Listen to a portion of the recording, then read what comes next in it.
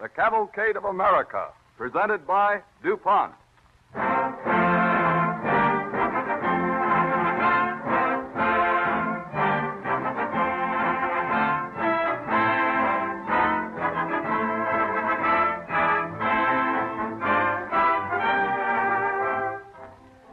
Well, here it is Thanksgiving Eve and just a month before Christmas, the glad season of gifts and good times. One of chemistry's modern touches for the Yuletide celebration is the sparkling transparent wrapping material sold by the DuPont Company under the familiar red and blue trademark cellophane. The variety of novel ways you can wrap your Christmas presents by using cellophane cellulose film is practically unlimited, and there's no better way to add your distinctive personal touch to everything you give. DuPont has printed up an attractive eight page booklet called How to Do Gift Wrapping Magic with Cellophane. Illustrated in full color, giving clear and easy to follow directions for wrapping, this booklet also gives suggestions for making pom poms and gay little Christmas trees from the transparent drinking straws called Glassips. It describes ideas for the use of bright, colorful ribbons and cord made of cellophane. In fact, it contains a lot of mighty useful information for any home at Christmas time. We shall be glad to send you a copy of this booklet free of charge. Just mail your name and address to DuPont, Wilmington, Delaware, and ask for your free copy of Gift Wrapping Magic with Cellophane. This evening, the DuPont Cavalcade of America brings you the story of Sarah Josepha Hale, famous editor of Godey's Ladies' Book and ardent advocate of feminine education whose memory lives in the welfare and opportunities of women today.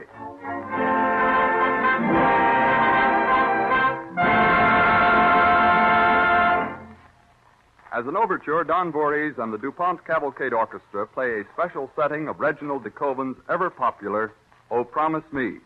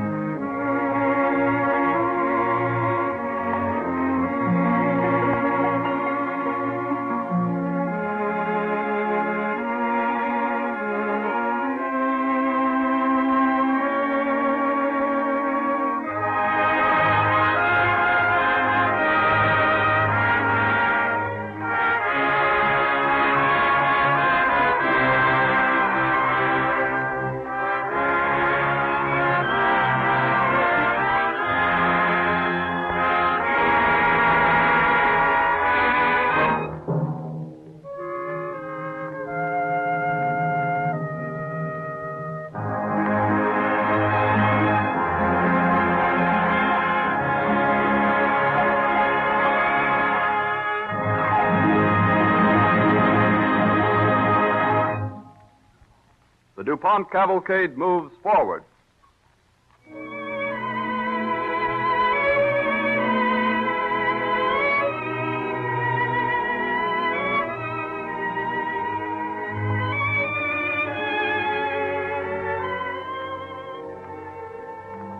Sarah Josepha Hale was born in Newport, New Hampshire on October 24, 1788. She was to pattern her life around the publication of a magazine known as Godey's Ladies Book, a publication which advocated advanced education for women, conducted departments devoted to fashions and domestic problems, and exerted a marked influence on the life of the times. One day in 1822, we find Sarah, at the age of 34, talking with her friend Mary in her home in Newport. And they say you're studying geology, Sarah, and mineralogy, whatever that is. Is it really true that you and David study every evening? We've studied almost every evening since first we've been married. It's been a rare experience for me, you may be sure. Rare experience. I should think so. And what a waste of time. What are you going to do with all that education now that you have it? I still feel that I have very little. But David is very patient with me. Oh, if I could only have gone to college with my brother. College?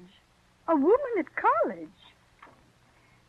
Sarah, aren't you afraid he'll find you unwomanly if you go on with this studying?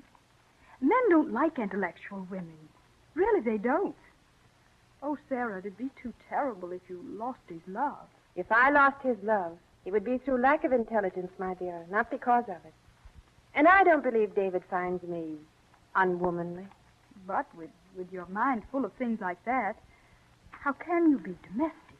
I have four children, Mary, and soon there'll be a fifth. My home is well managed, my husband happy. That's enough domesticity for any woman. Does David think so? David wants me to study. I should never have gone on trying to write without him. I tell you, Sarah, you're making a mistake. People are kind about your eccentricities, but in their hearts, everyone disapproves. It's vulgar for women to try to be intelligent as men are.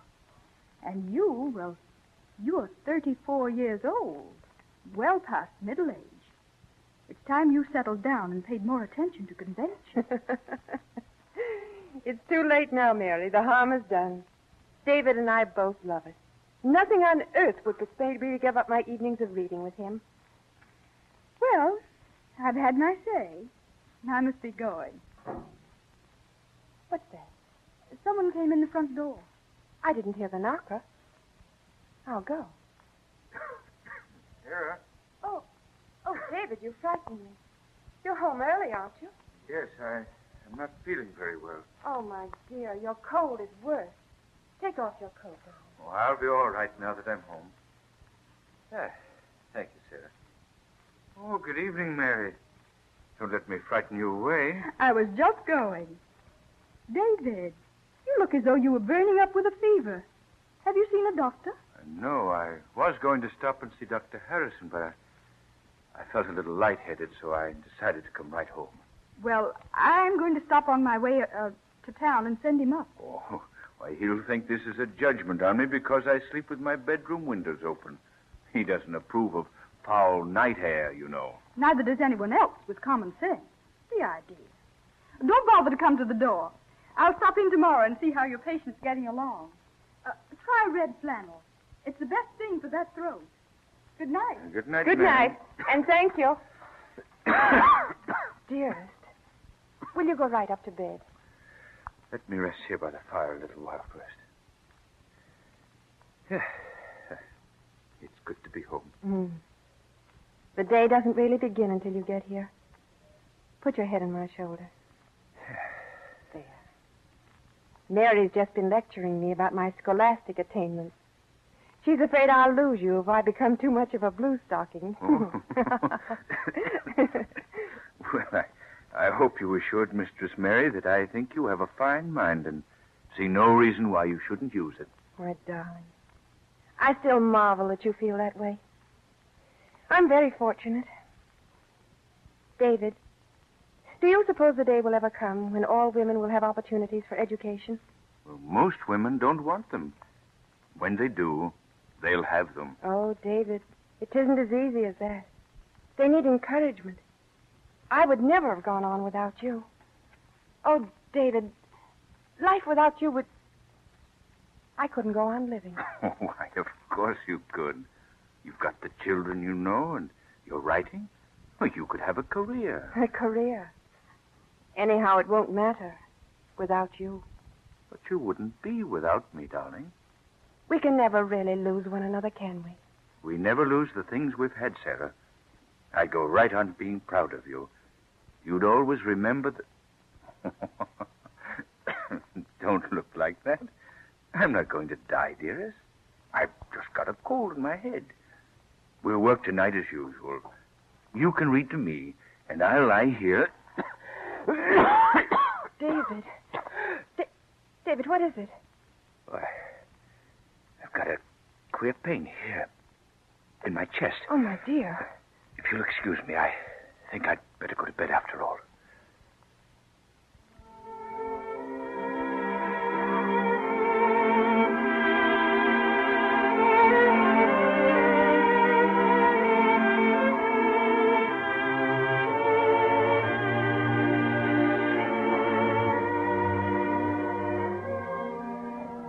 Few days, David Hale died of pneumonia.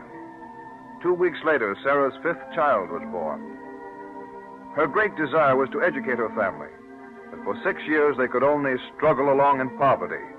Then Mrs. Hale went to Boston to establish Ladies Magazine, one of the first periodicals exclusively for women to be published in America. She was so successful that Louis Antoine Godey, starting his famous magazine called The Book in Philadelphia a few years later, determined to have her services. He finally secured them only by buying the magazine and combining the two publications. In the office of Godey's Ladies Book in September 1840, Mr. Godey has just come in to offer his congratulations to Sarah for her work in stimulating interest in a recent public subscription drive. It is magnificent, Mrs. Hale, simply magnificent. $30,000 toward the Bunker Hill Monument Fund, and every cent of it raised by women. I congratulate you. I do congratulate you. It was the first national organization of women in America, but it will not be the last. I always believed that it could be made an instrument for good. I'm happy to have had this opportunity to prove it. And prove it so sensibly, my dear lady editor. Never antagonizing men, never encouraging women to advance beyond their proper sphere or encroach upon masculine prerogatives. We offered our assistance as helpers only. The efforts of women should never degrade the characters of men. Hmm. Your success greatly enhances the prestige of Godey's Ladies Book. I'm glad to hear you say that, because I think the time has come for Godey's Ladies Book to capitalize on its reputation and take a more aggressive stand. Aggressive? I don't understand. We are an institution. We should lay down definite editorial principles and then support them. Conditions in our country, especially among women, are deplorable.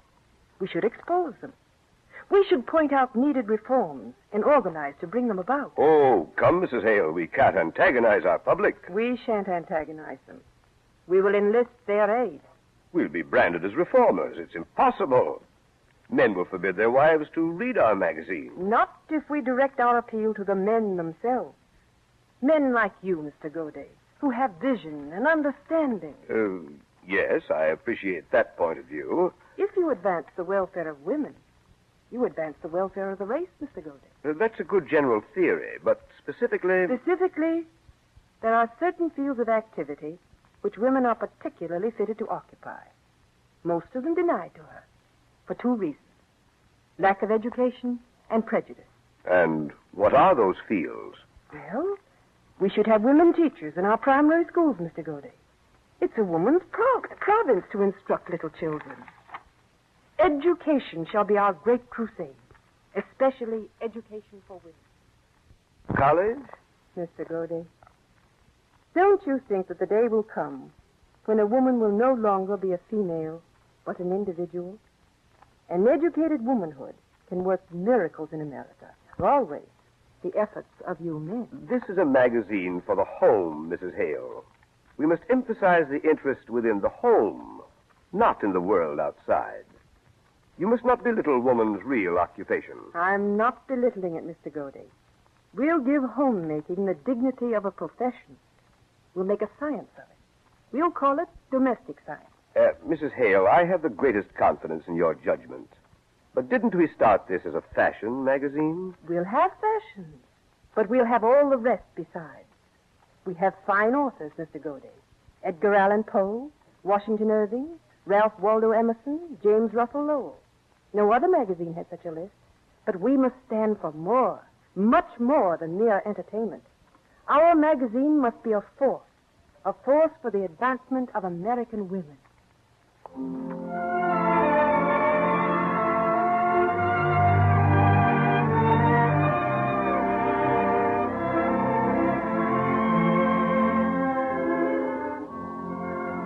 And so for 40 years, Sarah Hale directed the destinies of Godey's Ladies' Book. One of Mrs. Hale's great desires was her plan to make Thanksgiving Day, then observed individually by some of the states, a national holiday. One day in 1863, there arrived at the White House in Washington a slender, black clad figure. The President is expecting you, Mrs. Hale. Will you come this way? This is Sarah Josepha Hale. How do you do, Mrs. Hale? Won't you sit here? Thank you, Mr. President. You've had a tiresome journey. I wish I might have welcomed you at the White House at a happier time. I shouldn't have thought of imposing upon your indulgence now, Mr. President. If I were not convinced of the tremendous importance of the cause I've come to plead. And your letters encouraged me. I found our correspondence very interesting. Major General Hunter has developed the subject even further. Let me see. He's a relative of yours, is he not? His younger brother married my daughter. He's a good friend of mine. We've often spoken of your work. The influence Godey's book wields is amazing, Mrs. Hale. You've made it an American institution. You've tried to make our policy constructive. Sometimes it takes a long while. As in the case of the National Thanksgiving Day you've come to discuss with me. I've only been actively campaigning for it in Godey's book for 17 years. But my interest in Thanksgiving Day goes back far beyond that. I seem to remember that in one of your first books, Northwood, you gave a whole chapter just to a Thanksgiving dinner. Yes. Yes, I did, Mr. President. The sentimental value of the day seems very important to me. It's being observed very generally, Mrs. Hale. I realize that, Mr. President. But every state, every community even, is observing it independently. Think what it would mean, Mr. President, if 23 million Americans could in their hearts give thanks at the same time for the blessings we've received. You think the people could be stirred to a sense of thankfulness even in these times? Yes. Yes, I do, Mr. President. I still believe a nationalized Thanksgiving might have been a great factor in averting this disunion. Uh, There's no greater bond than rejoicing together over a common good. And America has so much to be thankful for. you realize that such a national proclamation will have certain opposition. A national Thanksgiving would be a renewed pledge of love and loyalty, Mr. President. If only all the states would join, would lay down their arms and forget their hate and their bitterness for one day. Ah, if they only would. Oh, Mr. President, is it not worth trying? It might point a path to peace. We shall see. Mr. President, do you, do you mean I mean that Sarah Josepha Hale and her Godey's Ladies book have succeeded in one more campaign. Mrs. Hale, you have convinced me. I shall issue a national Thanksgiving proclamation.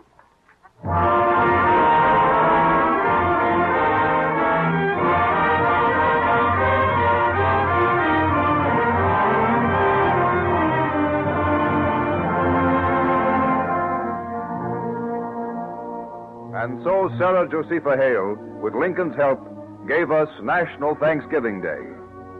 Godey's continued to point out to its 150,000 subscribers that knowledge was power, and power which should be given to women as well as to men. The lady editor toiled unceasingly, but she found time to write other books and poems as well.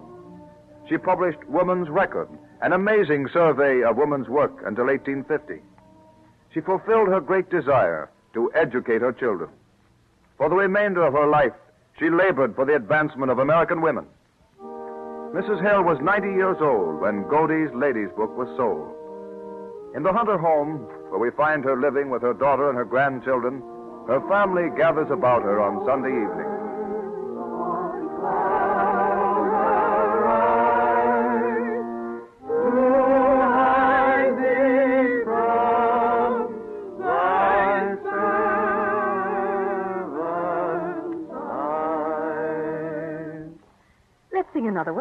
Grandmother will be in in a moment. Where is she? She stopped to tell Hannah Murray what a fine supper it was. Perhaps she'll read a story to us. I'd rather she recited Mary Had a Little Lamb. Well, you know that by heart. What do you want to hear it again for? Because she wrote it and it's my favorite poem. Maybe she has something new to read to us.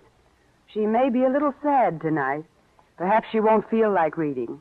Because of the book being sold, you mean? Yes. It'll seem strange not to go to the office for her anymore after all these years. Why isn't she going to edit the book anymore? Well, she's 90 years old, dear. She isn't old. Oh, no, darling. But by that time, one deserves a rest. But her hair isn't even gray. Her curls are as brown as mine. Yes, and her eyes are just as bright. What's this you're saying about Oh, Grandma. Sit here, Come in. Grandma. Thank you, Charles. Why, the children were saying that you were one person who would never grow old, Mother. And we all agreed. I wrote a poem about that once. It was the day I was 70. People tried to make me feel I was old even then. But I've had 20 more rich, full years. Tell us the poem, Grandmother. It was called Growing Old. It went this way Growing old, growing old. Can it ever be true? While joy for life's blessing is thankful and warm, and hopes sown for others are blooming anew, and the rainbow of promise bends over the storm. That's nice. Hope sown for others. Remember that, dear. What does it mean? Oh, it's a sort of charm. Something to help us to be thoughtful of others. Do all your poems have charms in them? That's what you said about Mary Had a Little Lamb. What did I say, dear? You said the last part was a charm to make animals love you. Don't you remember the verse about what makes the lamb love Mary so the eager children cry? Oh, Mary loves the lamb, you know, the teacher did reply.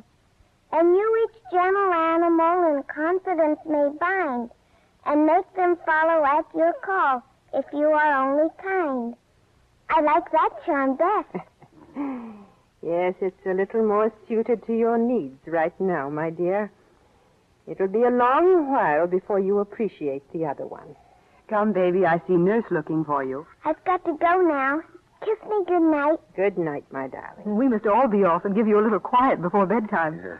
Good night, Grandmother. Good night. Good Good night. night. Grandmother. Good night. Good night, my dears. Good night. Anything for Richard to do tonight, Mother?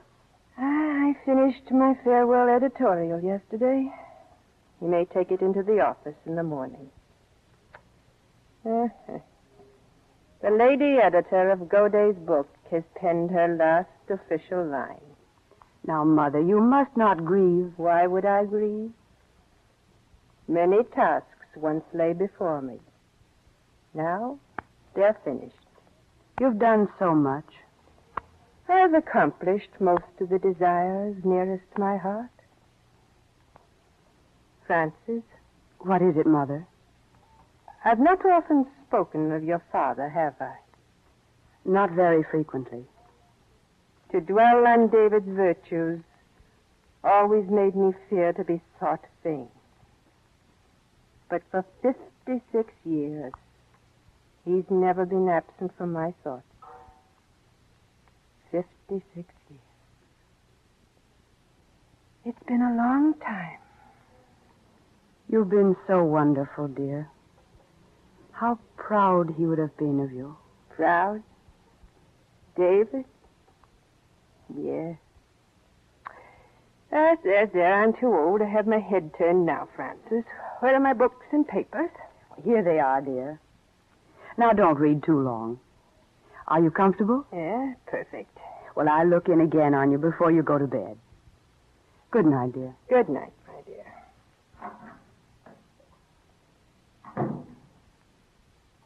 David. Dear David.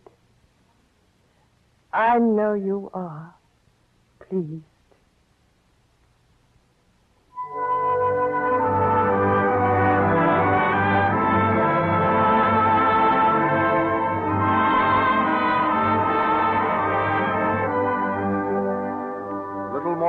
Year later, April 30th, 1879, Sarah slipped away to join David, leaving behind her, in her own words, half a century of work for the furtherance of the happiness and usefulness of her countrywomen. Work which has resulted in the diversified employment of over one fifth of the women of the United States today. An ideal which has seen fulfillment in the nationalization of our Thanksgiving Day celebration. DuPont salutes Sarah Josepha Hale as an inspiring figure in the cavalcade of America.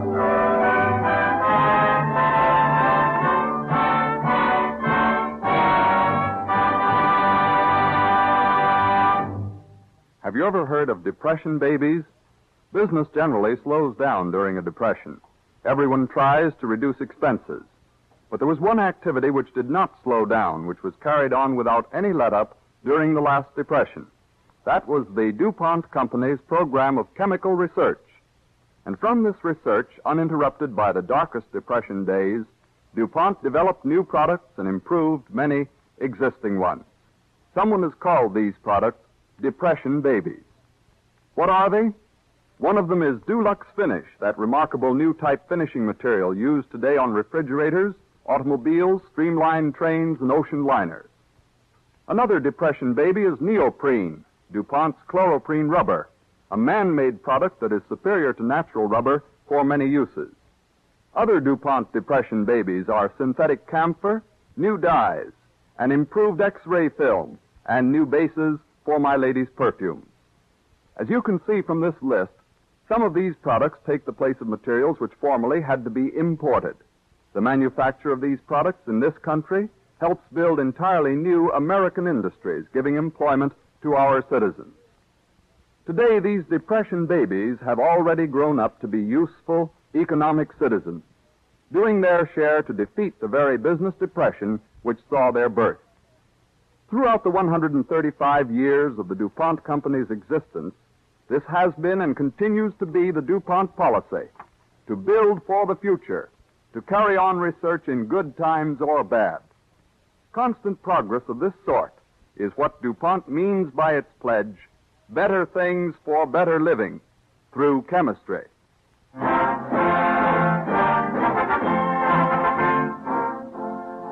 May we remind you that you can secure free of charge a copy of the booklet, How to Do Gift Wrapping Magic with Cellophane. Just send your name and address to DuPont, Wilmington, Delaware. And remember to tune in next Wednesday for the story of Ottmar Mergenthaler, the inventor of the linotype, when the DuPont Company will again present the Cavalcade of America. This is the Columbia Broadcasting System.